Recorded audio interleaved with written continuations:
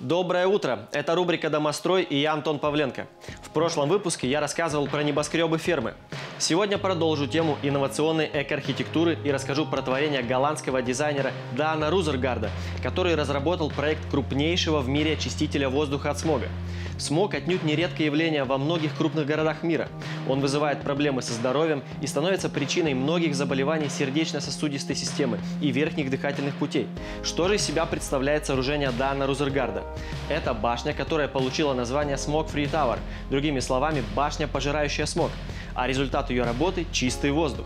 Башня представляет собой гигантский ионизатор воздуха размерами 7 на 3,5 метра. Для выработки положительно заряженных ионов в окружающее пространство используется электрический ток. Ионы присоединяются к мелким частицам пыли и других загрязняющих веществ и затем втягиваются обратно в башню с помощью внутренней отрицательно заряженной поверхности. Здесь пыль и загрязняющие вещества фильтруются, а очищенный воздух выходит наружу. В результате вокруг башни создается локализованный пузырь воздуха, который по оценкам экспертов на 70 75% чище, чем в остальной части города.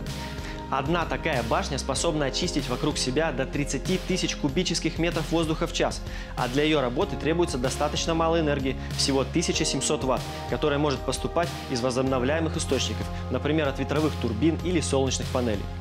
Мало того, что башня очищает воздух, украшает город своим футуристичным дизайном, автономно и самостоятельно обеспечивает себя электричеством, так еще и производит из смога ювелирные украшения. По словам Рузергарда, цель последнего состоит в том, чтобы сделать смог более ощутимым для людей. В общем, без изюминки, как всегда, не обошлось. Так что вместо банальных украшений сапфира или черного жемчуга, ценители ювелирного искусства могли бы позволить себе запонки или кольцо из челябинского, например, смога. Такой подход еще раз доказывает, что деньги можно делать даже из воздуха. Пилотный проект планируется развернуть в Роттердаме в Нидерландах. Далее подобные башни будут построены в Пекине, Мумбаи и Париже. На сегодня все. С вами был Антон Павленко. Про новинки из мира архитектуры и строительства расскажу в следующий раз. Пока!